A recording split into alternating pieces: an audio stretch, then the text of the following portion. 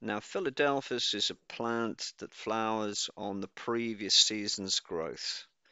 Uh, it's a little bit like uh, a Forsythia or a Weigela.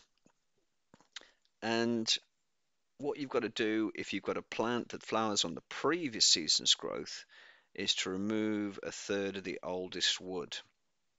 If they flower on the end of this season's growth, then you know you're safe to cut them down in the spring and then they'll come up again and they'll still flower. You won't destroy the flower buds.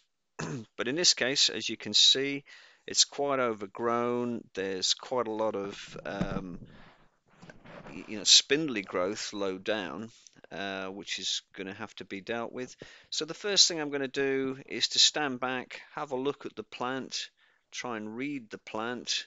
Uh, I can see there's a lot of growth to the right.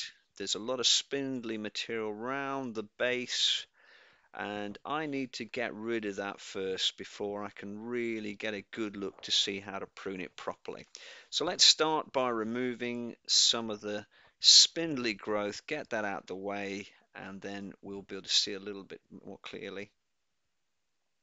So I'm just using some Felco secateurs and we'll just gradually cut away. Uh, we need to be right at the base of the plant and I've just used my loppers there to cut away one of the shoots which is an older woodier shoot. You can tell which they are by looking at the color of the wood. Uh, if it's more lignified and grey and ashen, it, it, you know it's an older one. But if it's got a nice, quite uh, bright color, uh, a yellow and orange or something like that, you you, you know usually uh, it's it's a younger piece of growth. Inside of this plant you can see it's still quite top heavy. I've removed a lot of the spindly growth around the base so we can now get the shape of the tree but there is quite a lot of material to remove to the far right. And there's one or two older shoots that's still in the middle which are broken off not good shoots and they need to be cut away as well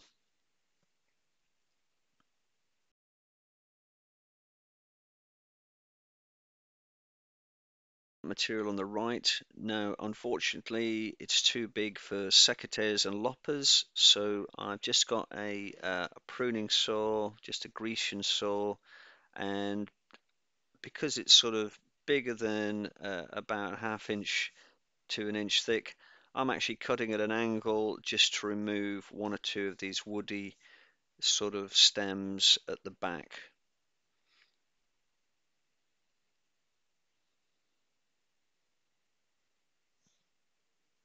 The shape that I want, you can see it's quite even. I have thinned it out quite a bit. Um, you can't overdo it because obviously you're not going to be left with anything. So you want to use your discretion. And now all I've got to do is to find any broken branches, any dead branches or spindly branches again, and remove a few of those I'm not going to do a lot of work to the top of the plant because if I start cutting across the top and reducing the height, it'll lollipop and we'll get lots of proliferation of shoots and it's not usually a good thing for the plant to prune it that way. Um, so thinning out is the, the best way, removing a third of the oldest wood and then you've opened it up, plenty of air circulation into the plant